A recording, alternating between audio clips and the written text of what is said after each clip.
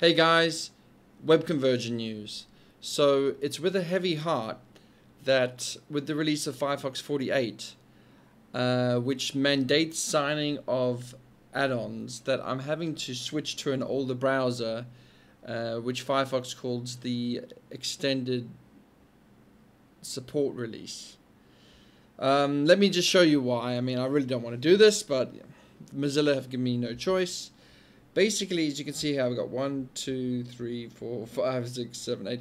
I um, Webconverger can switch between eight add-ons, you know, depending on on uh, how if they're enabled or not. um, and another thing is is that we I, I use the open format of the XPI. I don't have it all contained. And and another thing I do is that I I I modified um, the about um, file somewhere, uh, this one here, in order to drop in the the the version number of what Webconverger is running.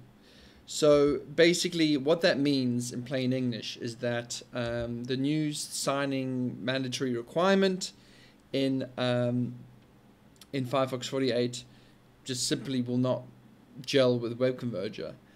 Um, and that's really sad. So so now I have to push to um, uh, six thousand machines or something, uh, an older version of Firefox, an older version of uh, web browser, which I really do not like to do. Um, uh, I've just been testing it in Spanish, and I can probably show you the about page if I can manage to figure out where the colon is on a Spanish keyboard. See, this is how I change the about page. I just drop in the, the version there and give people a link to their configuration. Um, providing they use this version where you can change the, where you can actually type in about. So yeah, that's it. Um, this is the release notes.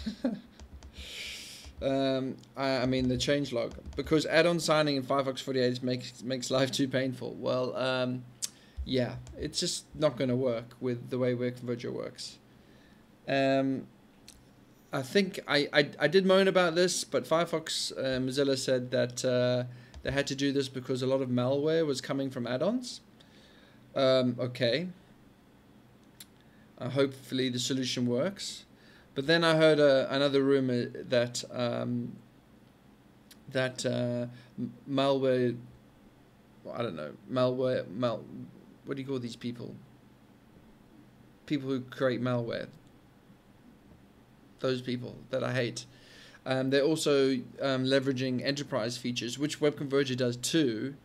Um, I don't know if you've seen the Prefs API; it's actually quite powerful. But yeah, um, I'm I'm just worried that that Mozilla are going to make all these changes and just make it just like just too hard for Webconverger to exist almost uh, using the Firefox browser. I don't want to move to WebKit, in all honesty, I want Firefox to actually succeed. It just just feels like a bit of a kick in the teeth, as usual from Mozilla. Okay, that's the update Webconverger side. I um, we, I'm gonna do a new release sometime real soon, sometime real soon now. See you guys. Thanks for watching. Please give the video a like.